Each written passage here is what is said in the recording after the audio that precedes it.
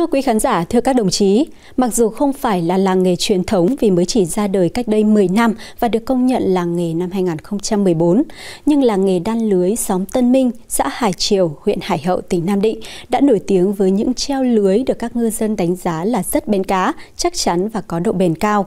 Người làm nghề thường gọi đó là lưới chấp hay lưới xanh. Để đan được những tấm lưới đạt chất lượng như thế, ngoài việc phải chọn sợi lưới chuẩn, những người đan cần phải nắm vững kỹ thuật, kiên trì, tỉ mẩn và thật khéo léo qua từng câu đoạn.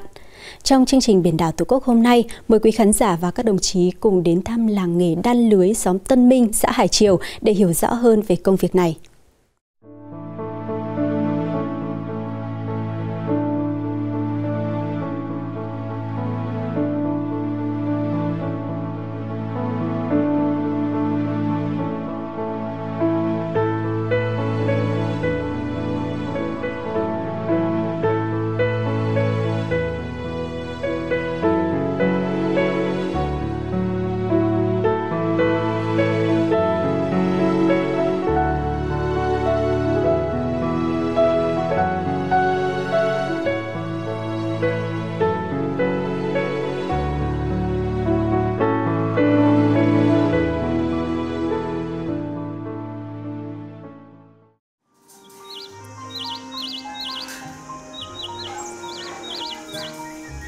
Đến nghề đan lưới ở xóm Tân Minh, không thể không nhắc đến ông Nguyễn Văn Xuyến, một trong những người đầu tiên tham gia góp công xây dựng làng nghề ngày nay.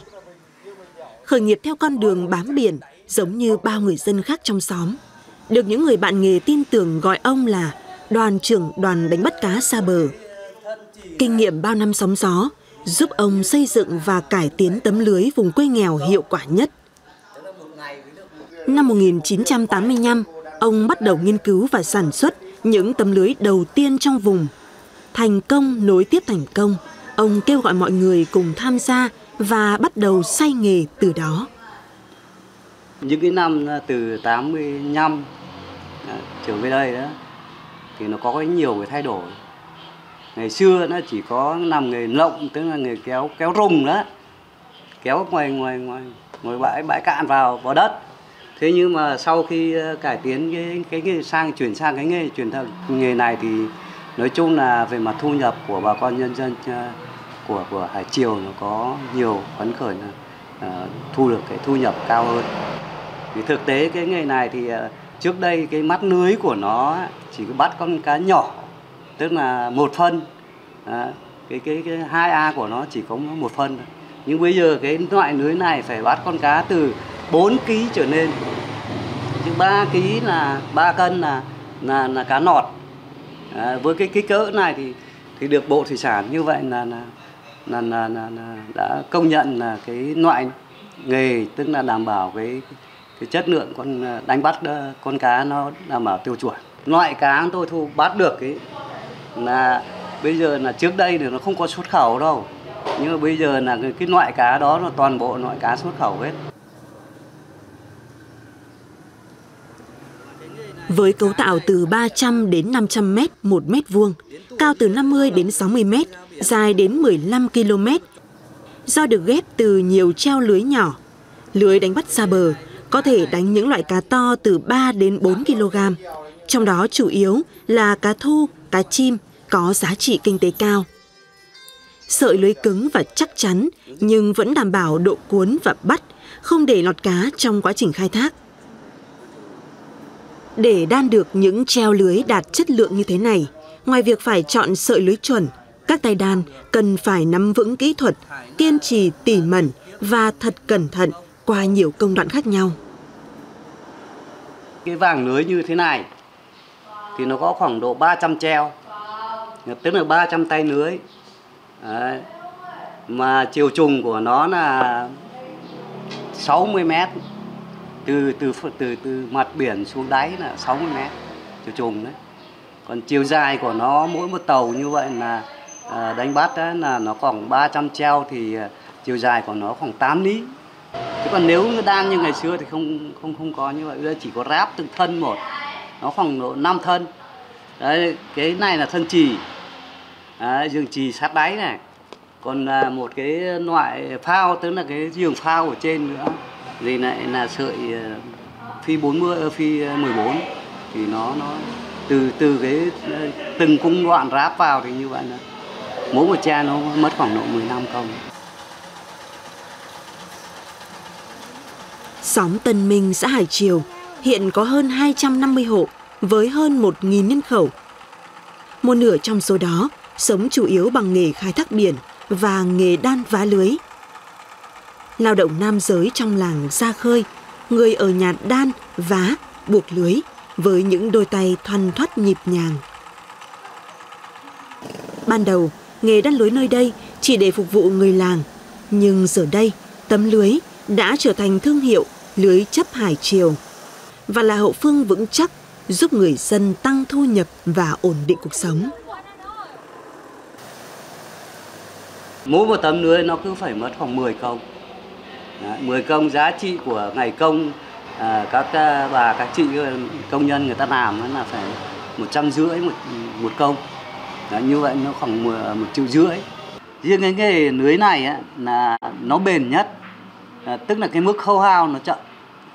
Còn những cái nghề khác thì ờ, mức khâu hao nó nhanh lắm vì cái sợi nó to này hai nữa là sợi nó là sợi hàng đặt hàng, à, hàng, hàng chất lượng cho nên là à, tuổi thọ của nó đánh tới 10 năm. Nếu sản xuất trong 10 năm với phải thay thế. Thay thế toàn bộ đấy. Chứ còn hàng năm thì cứ mỗi một năm anh em bổ sung mỗi một tàu khoảng độ ờ, 100 treo 300 treo rồi cứ thay thế dần thay thế dần. Cứ nối vụ vụ như vậy là mỗi năm bổ sung khoảng 100 treo. Như vậy là liên tục lúc nào trên tàu cũng có cái chất lượng mới tốt. Thì nó khai thác là sản xuất là có thu nhập cao hơn. Chắc chắn như vậy cũng giống ông Xuyến, gia đình chị Hoa ở xóm Tân Minh cũng lập nghiệp mưu sinh bằng nghề đan lưới. Chồng chị có 10 anh chị em thì có 6 người là chủ tàu cá trên địa bàn. Hàng ngày các anh ra khơi đánh bắt hải sản thì ở nhà các chị bám biển theo cách của riêng mình.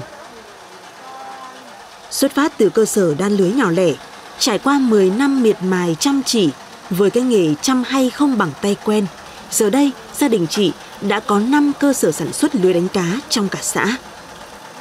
Bố mẹ đẻ thì cái nghề này thì không không làm nhiều bằng bố mẹ chồng của của tôi. Chồng của tôi thì làm từ thời còn nhỏ đến giờ cơ. Sau đấy là cũng đi lấy chồng thì cũng theo luôn cái nghề của của chồng thì làm thì từ đời bố đến đời con, bây giờ đến đời cháu cũng vẫn đang làm mà gia đình thì ông bà thì được nhiều người con lắm 10 cơ. Nhưng mà ai cũng làm cái nghề này cả. Cho nên là ai cũng là một ông chủ của của, của bây giờ nó khoảng 6 7 tàu. Vào những tháng cao điểm trong năm, khi đúng mùa đánh bắt, nhu cầu mua và sửa lưới của ngư dân tăng cao. Chị Hoa và những đồng nghiệp lại luôn tay miệt mài từ sáng đến đêm để có thể đáp ứng đủ nhu cầu của khách hàng. Mỗi một cơ sở đan và vá lưới như thế này sẽ có khoảng từ 4 đến 5 nhân công lao động, mỗi người phụ trách sản xuất một bộ phận của tấm lưới. Thời điểm bây giờ là à, một đội này là em nam này em chia ra làm ba bốn năm nhóm đấy cái nhóm này là, là nhóm ít thế này còn à, họ đang làm ở trên kia cơ. Cho nên là cứ phải chia con con nốt là năm sáu nhóm. Mà cũng con nốt thì một nhóm mà cũng nốt thì hai nhóm. Cái thời điểm này là đang là làm ghê. Cho nên là phải chia ra nhiều sân. Thì không phải là làm một ở cái chỗ nào. Nếu mà khi mà các anh đi biển về mà cần lưới thì thì à, tập trung hết ở đây làm. Mà không có thì phải chia ra làm nhiều nơi. Chứ làm ở đây thì cái sân này nó không thể đủ cho ba bốn mươi nghìn này để hoàn thành một treo lưới những người phụ nữ này phải lao động chăm chỉ miệt mài trong khoảng 3 ngày có đến 5 công đoạn chính để cho ra đời một treo lưới hoàn chỉnh nhưng vất vả và đòi hỏi kỹ thuật tay nghề cao nhất phải kể đến công đoạn buộc phao. Những người thợ buộc phao thường là những người trẻ tuổi, có sức khỏe và sự tỉ mỉ trong từng chi tiết. Phao buộc phải chắc tay, tạo nên độ kết nối giữa hai phần phao và lưới.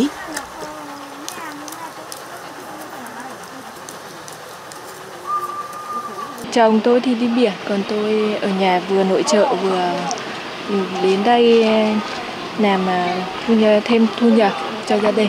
Công việc chính của tôi là buộc phao. Là cái câu đoạn buộc phao ấy thường thường là đầu tiên là nó có một cuộn giềng to, xong là ừ, tôi thường thường thường thường là tôi chấm chấm khoảng bao nhiêu phân một một một khuôn đấy là một tôi cứ làm là khoảng 10 mát một khuôn như đây tôi óm như tôi óm vậy đây là 10 mát một khuôn một treo lưới thì một treo nứa nó khoảng 62 62 óm, làm thành một treo lưới và tôi cứ óm à, thông thường là tôi nó cứ óm càng chặt tay thì là treo nứa nó càng chắc một tấm lưới như thế này thì là chị làm nó tầm 8 triệu 8 triệu 2 gì đấy 8 triệu 3 cũng có. Tùy theo cái cái cái kích thước của mình mà tùy theo cái cái khuôn khổ của cái treo lưới kiểu mình làm nhiều mắt lưới thì là nó, nó nhiều tiền và mình làm ít mắt lưới thì nó ít tiền. Còn thường thường như chị làm bây giờ nó là nhiều công đoạn lắm. Chấm riêng xong là dồn trì dồn trì xong bọn em lại phải à, dồn trì xong thì lại buộc buộc cái trì xong rồi là lại à, buộc phao.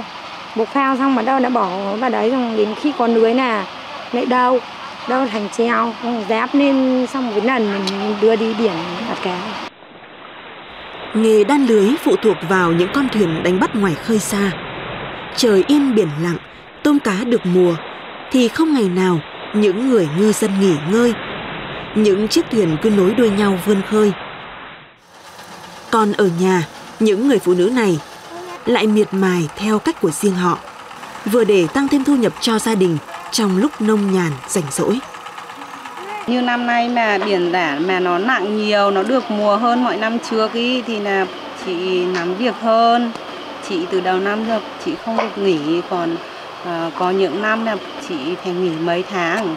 Thì trong lúc chị nghỉ thì nó lại không có thu nhập thì mình chỉ ở nhà là vườn ruộng eo cá vậy thôi đi làm thì được ừ, trăm rưỡi còn nếu mà bọn chị mà tăng ca thì bọn chị được hai trăm đủ được à, nội trợ trong ngày cho con cái vậy còn à, những ngày mà bọn chị nghỉ thì là lại phải ừ, nhờ vào công sức của chồng xác định rõ nghề đan lưới ở xã Hải Triều không chỉ là nghề truyền thống mà còn giúp bà con nhân dân ổn định kinh tế, xóa đói giảm nghèo chính quyền địa phương luôn quan tâm ủng hộ và giúp đỡ các hộ dân. Trong đó, không thể không nhắc đến sự tham gia nhiệt tình và đầy trách nhiệm của các cán bộ chiến sĩ đồn biên phòng Văn Lý, Bộ Chỉ huy Bộ đội Biên phòng tỉnh Nam Định trong những tháng cao điểm của làng nghề. Trong những năm vừa qua, cùng với lại cấp ủy đảng, chính quyền địa phương thì cán bộ chiến sĩ đồn biên phòng Văn Lý là triển khai tổ chức các biện pháp công tác vận động quần chúng tới bà con nhân dân trên địa bàn. Đặc biệt là chúng tôi tập trung vào vận động bà con là phát triển kinh tế tại chỗ như nuôi trồng thủy sản rồi là phát triển các làng nghề như làng nghề đan lưới ở xóm Tân Minh của xã Hai Triều. Thì qua cái việc xây dựng các làng nghề này thì tạo được công an việc làm cho tại chỗ cho người dân. Đặc biệt là phối hợp với hội phụ nữ, chị em hội viên hội phụ nữ là tham gia rất là là là là có hiệu quả vào trong cái việc xây dựng các làng nghề. Thì công việc của chị em là có đều, rồi là cái cái sản xuất ra cái lưới thì cũng được tiêu thụ là không những ở địa phương mà chúng tôi là tiêu thụ là các làng nghề này là cái lưới được à, vận chuyển đi tiêu thụ có thể nói là trên toàn quốc. Vào những ngày biển động mưa nhiều, những ngư dân lại tranh thủ tu sửa lại ngư lưới cụ. Đó cũng là thời điểm người đan lưới Hải Triều làm không hết việc. Người Hải Triều đan lưới bằng chính cái tâm của những người miền biển. Bởi vậy mà, danh tiếng lưới Hải Triều đã theo ngư dân vươn xa khắp mọi miền Tổ quốc.